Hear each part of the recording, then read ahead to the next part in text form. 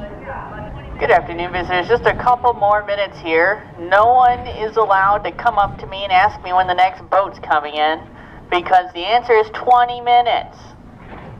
Um, yeah, but yeah, about 20 minutes we're going to have the boat come through. In about five-ish minutes or so, we're going to have the bridge lift for it. So if you have to go to the restroom, now's the perfect time for a potty break. Also, somebody lost a pair of sunglasses. They're kind of brown. They're not my color. So I really hope somebody comes and collects them or we'll have to donate them in a year. But yeah, if you lost your sunglasses, I might have them. Hi, Mesabi Miner at the Aerial Lift Bridge. Just starting up a little early for you, Captain. Uh, good copy, thank you very much. See you then.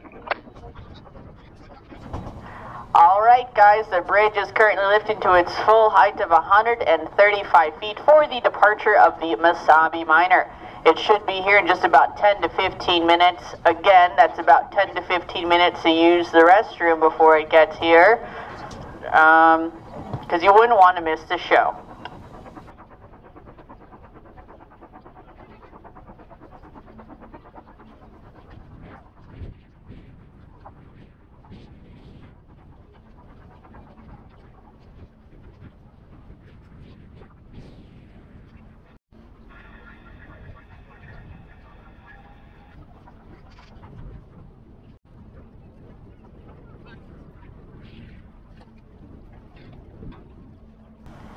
Good afternoon, visitors. Right now, coming through the canal, we have the Mesabi Miner. The Mesabi Miner was built in 1977 by the American Shipbuilding Company in Lorain, Ohio. She measures 1,004 feet in length, 105 feet in width, and 56 feet in depth.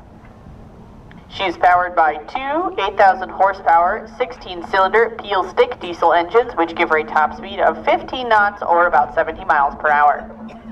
She's also equipped with a 1,500 horsepower bow thruster to aid her maneuverability in port. The Mesabi Miner has 36 hatches on her deck, which open into seven cargo holds located below deck. Each hatch covering measures 65 by 11 feet. She has a maximum carrying capacity of 63,300 tons. Above her deck is a 265-foot self-unloading boom, which allows her to unload her own cargo at a rate of 10,000 tons per hour without the aid of shoreside equipment.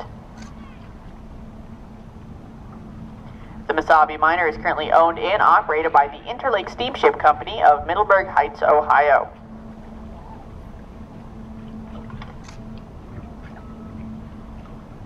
The Mesabi Miner was built for 45.1 million in three different sections. The bow and stern sections were built in American Shipbuilding's Lorain Yard, while the midsection was built in their Toledo Yard. It was later towed to Lorain to be conjoined with the other two sections.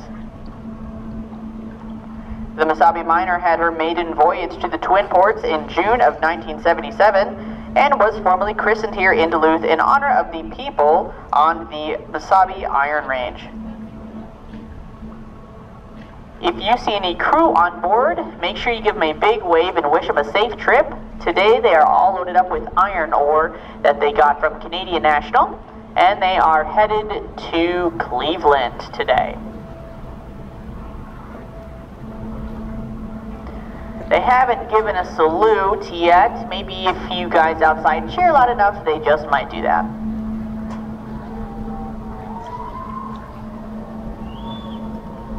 Okay, the cheering was a little weak. Maybe if you all do it together. Try it on one, two, three.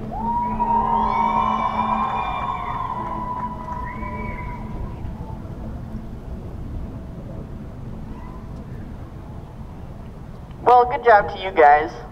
Um, sorry the boat didn't care. But maybe when the pilot house gets a little closer, they will give you their salute.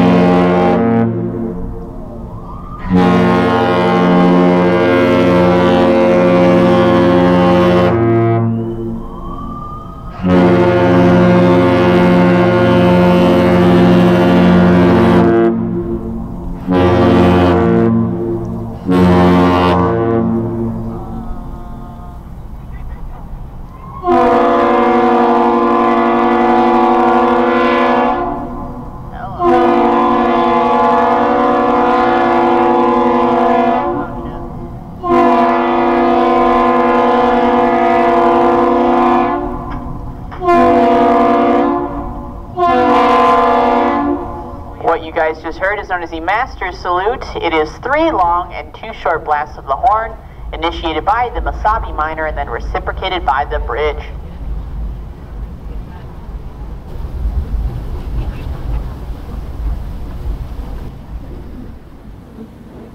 Uh, thank you very much there, Aerial Bridge. Uh, you stay safe and we'll uh, see you in about a week. Yeah, you bet, Cap. You guys have a safe trip and uh, we'll see you then.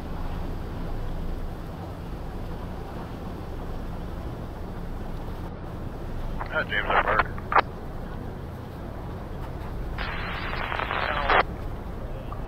Channel 8.